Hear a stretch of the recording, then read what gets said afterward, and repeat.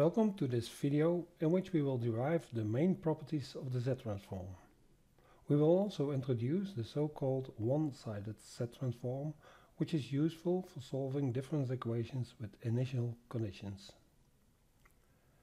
Just as the FTD, there are a number of important and very useful Z-transform properties. Assume the Z-transform of the sequence xn and yn are given by xz and yz respectively and their region of convergence by rx and ry. As with the FTD, the Z-transform is a linear operation. The resulting region of convergence, Rw, of the sequence Wn will include the intersection of Rx and Ry.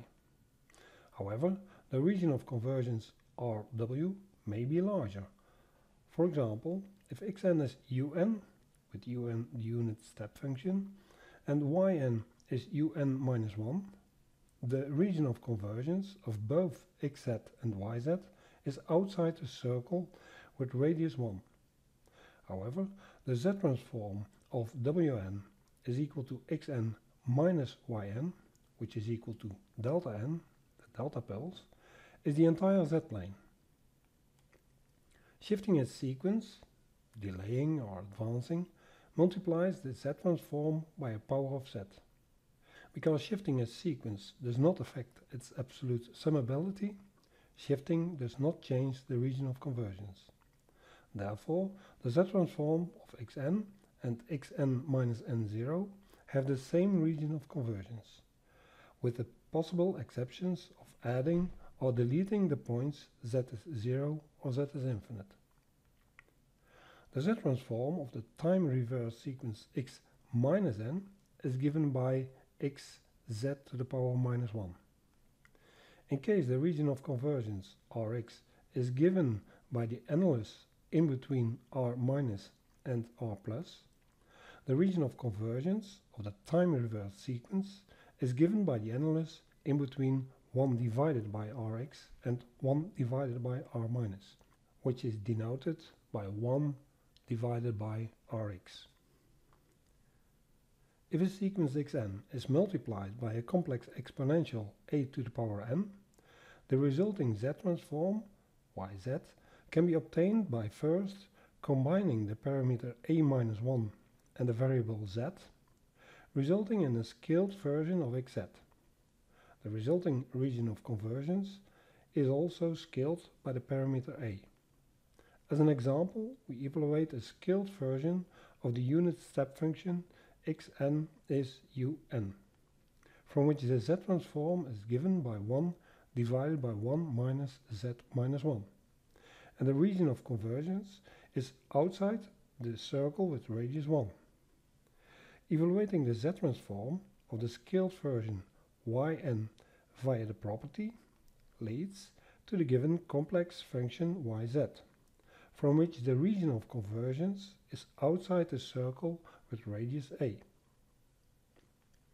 Verifying this result by applying the z-transform of the sequence yn is a to the power n un leads indeed to the same result yz, with the same region of convergence. Finally, as a special case, note that if xn is multiplied by a complex exponent e to the power jn theta 0 corresponds to a rotation of the z-plane. Perhaps the most important Z-transform property is the convolution theorem, which states that convolution in time domain is mapped to a multiplication in Z domain. The proof of this theorem is shown in the following steps. First, write out the convolution sum and transform to the Z domain. In the next step, change the order of the summations and then add an extra exponent z to the power minus p in the first summation and compensate this in the second summation. The first summation is the z-transform of the sequence xn and the second summation between large brackets is the z-transform of the sequence yn, which finalizes the proof. This convolution theorem is shown in the following example. Both xn and yn are finite length sequences, and the convolution result, wn, is a finite length sequence which consists of three delta pulses with coefficients 1, 3 and 2 respectively. The z-transform of xn and yn is given by the two finite length polynomials xz and yz. Multiplying these two polynomials results in a finite length polynomial with coefficients 1, 3 and 2, which is indeed the z-transform of the convolution result wn. Finally, the region of convergence of the result wz of the convolution theorem includes the intersection of the region of convergence of xz and yz. However, the region of convergence Rw may be larger if there is a pole zero cancellation in the product xz multiplied by yz. This can be shown by the following example. In this example, the z transform xz of the infinite length exponential decaying sequence xn has one pole at z is a, and the region of convergence contains all complex variables z outside the circle with radius a. The z-transform yz of the finite length sequence yn has one zero at z is a, and the region of convergence contains all complex variables z except z is zero.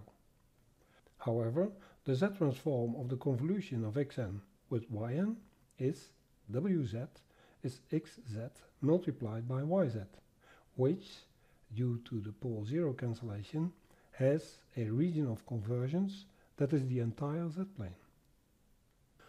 The z-transform of the complex conjugate of a sequence xn can be rewritten by taking the complex conjugation operation outside the brackets and interchange the exponents of the variable z which leads to the final result.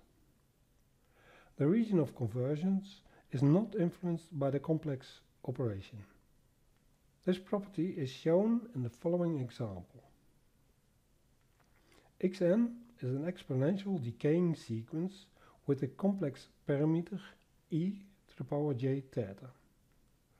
When using the expression for the z-transform of an exponential decaying function, we replace the parameter a with e to the power j theta 0. We obtain the given result. In a similar way, we can obtain the z-transform yz of the complex conjugated version yn is x star n. Since now the parameter of the exponential decaying sequence is given by e to the power minus j theta 0. We can find the same result, yz, by using the conjugation property, which can be shown in the following steps.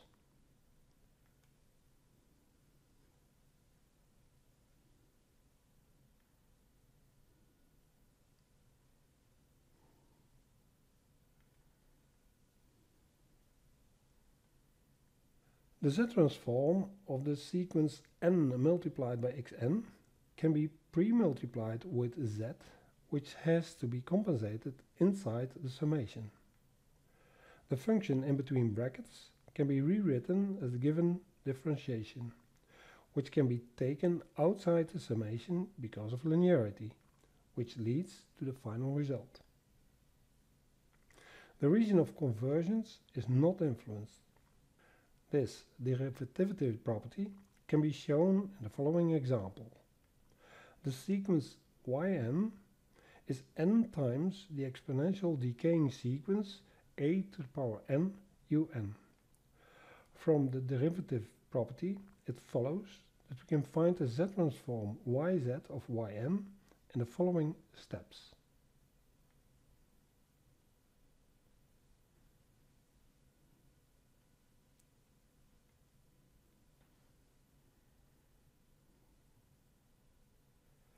If the sequence xn is equal to 0 for n smaller than 0, the initial value x0 may be found from the z-transform xz by taking the limit for z to infinity, which can be shown in the following steps.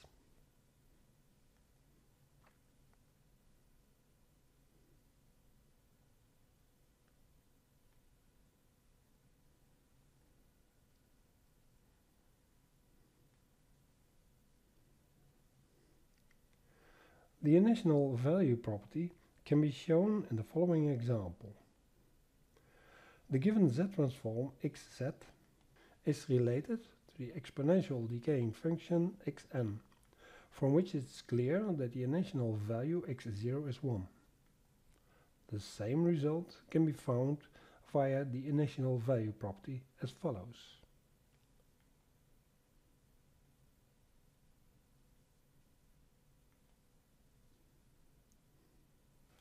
The Z-transform xz of the sequence xn, as discussed before, is the so-called two-sided Z-transform. The one-sided Z-transform x tilde z is defined by the given equation in which the summation index n does not start from n is minus infinity but from n is 0. Most of the properties of the one-sided Z-transform are the same as the properties of the two-sided Z-transform. One that is different, however, is the shift property. Specifically, if the sequence xn has a one-sided Z-transform x tilde z, the difference with a one-sided Z-transform of a shifted sequence xn minus k is represented in red in the given equation.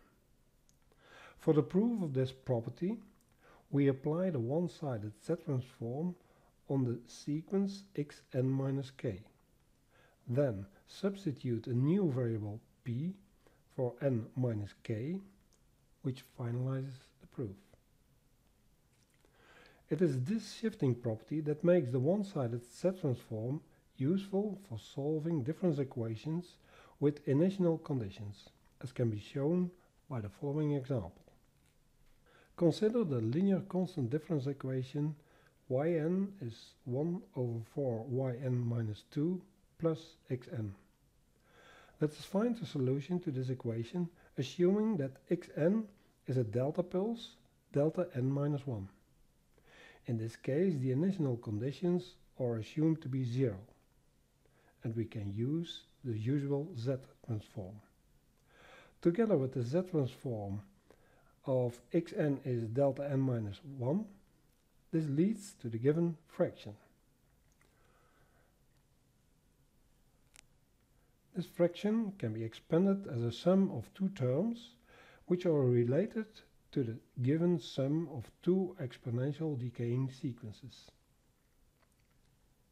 In case the initial conditions are non-zero, for example y minus 2 is y minus 1 is equal to 1, we have to use the one-sided Z-transform to solve the difference equation. The one-sided Z-transform x tilde z of xn is delta n minus 1 is the same as the z transform xz, which is equal to z to the power minus 1. Using this, together with the shift property of the one-sided z transform, results in the given fraction, which can be expanded as a sum of two terms, which are related to the given sum of two weighted exponential decaying sequences. The influence of the initial conditions is reflected by the two weights denoted in red. This ends this video in which we explained the main properties of the Z-transform. We also introduced the one-sided Z-transform which is useful for solving difference equations with initial conditions. Thank you for your attention.